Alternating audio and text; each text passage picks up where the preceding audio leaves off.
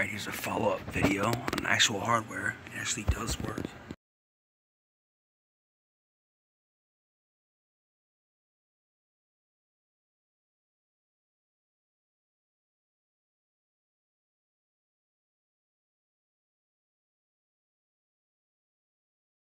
Yours is going to be different. Follow the instructions from your VPN provider.